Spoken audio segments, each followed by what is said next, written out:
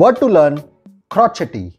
Crotchety is used as an adjective which means irritable, bad tempered, ill tempered. Let us see some examples. Angry about being placed in the nursing home, the crotchety man chased his nurses with his cane. Although he once was friendly, the crotchety mechanic now despised people and preferred to be left alone. Because of his crotchety attitude and tendency to argue, the man's family rarely came to visit him during his golden years.